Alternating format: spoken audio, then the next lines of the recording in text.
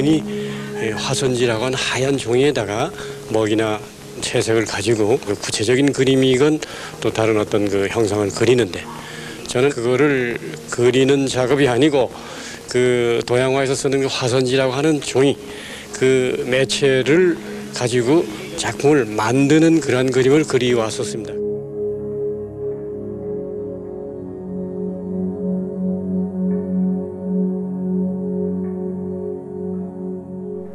미술학 다닐 적에 학교에서 배우는 것이 소위 과거에서부터 내려오는 어떤 전통적인 도양화 그런 것이 제 체질이 맞지 않았어요. 그래가지고 난 내 걸 해야 되겠다 하는 방향으로 자꾸 나가다 보니까 하얀 종이로 돌아옵니다마는 화선지라고 하는 종이가 하얀 종이지 않습니까? 위에 늘 있었고 그때는 모든 재료가 귀하고 불편할 때였으니까 화판 하나를 내가 만들고 내가 때 엠질해서 뚫어진 데는 고치고 하다 보니까 어떤 데는 화선지 갖다 바르기도 하고 했었어요.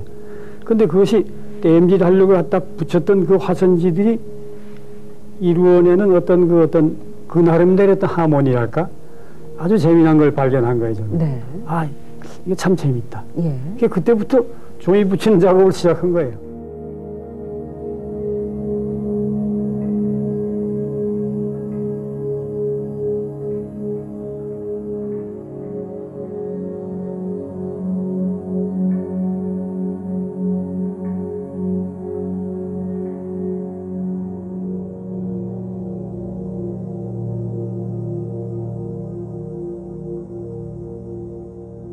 처음에 발라붙이는 작업이었었습니다. 예. 그러니까 하얀 종이를 어두운 바탕에다 한 장 발라놓으면 밑에 색깔이 어리거든요. 네. 그걸 두 겹을 붙이면 다시 좀 하얘지고 안 붙이면 좀 더 색깔이 있습니다.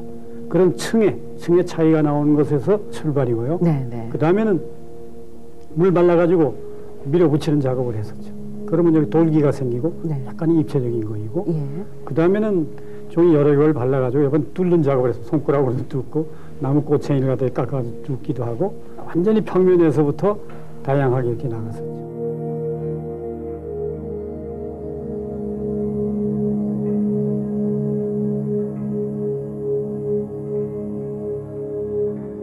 (65, 6년경이었지 않을까 싶은데요) 네네. 그때가 내 나름대로 내 경지를 개척했다 하는 의미에서 발표를 처음 시도한 것이 신세계 백화점 안에 있는 미술관에서 제1회 개인전이 있었다고 생각되는데요. 네.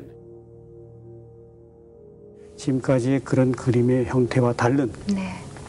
조이만 가지고 다루는 그런 그림을 그렸었습니다. 그런 그림을 그렸다기보다 만들었었죠. 예, 예, 그때 이제 이걸 보고 어떤 사람들은 뭐 이것도 도양화냐 뭐 별 소리가 다 많았죠. 네, 네. 동시에 소위 말하는 추상적인 거, 비구상적인 그런 그림이었었기 때문에 네. 예, 이거는 서양화지 하는 그런 얘기까지 하는 사람들까지 있었습니다. 네. 일단은 저 나름대로 생각할 적에는 회화지, 도양화, 서양화라는 구별을 굳이 두지 말자. 기름 물감으로 그렸건 서양화적인 화법으로 그렸건 요는 그 작품이 발산하는 어딘가 그 채취가 네. 도양적인 것을 발산할 때 이건 도양화다. 네. 저는 일단 그렇게 예. 얘기를 하고 싶어요. 우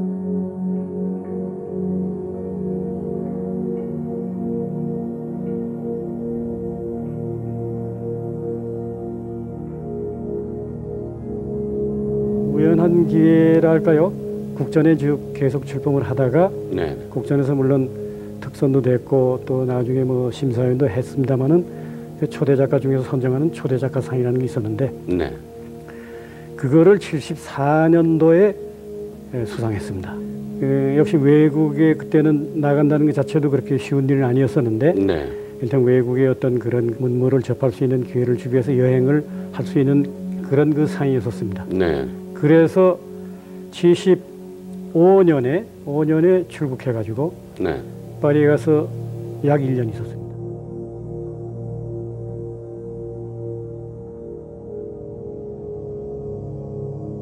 파리로 가면서 채색을 집어넣기 시작한 거죠.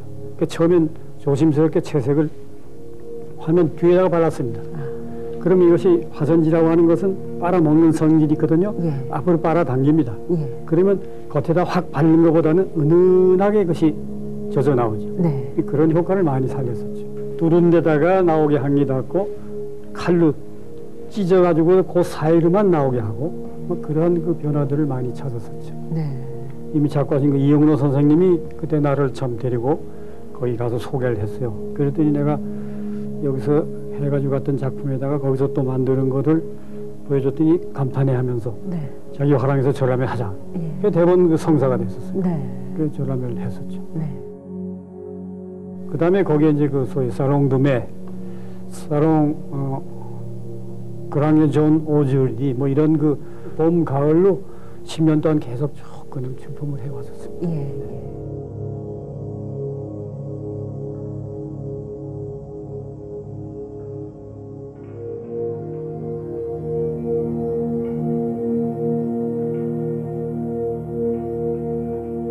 제가 그 종이 작업 이렇게 쭉 지금 음, 얘기를 하고 있습니다만은 사실은 최초의 종이 작업이란 것은 종이에다가 물감도 아무것도 안 들이고 종이를 발라 붙인 것 같던 하얀 그림이었었죠.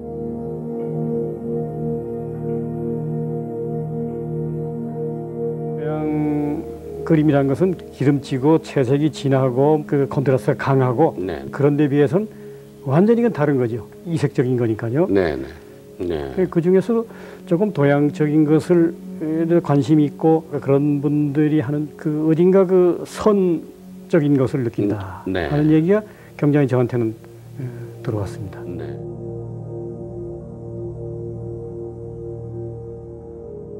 불교에서 말하는 그 선, 화려하고 정적인 네. 그 사색적인 네. 그 사람들은 거기서 느꼈던 것 같습니다. 네. 그것이 전, 저 작품에 대해서 지적해 준 가장 그 중요한 대목이 아니었었던가 네. 저는 그렇게 보고 있습니다. 네. 네.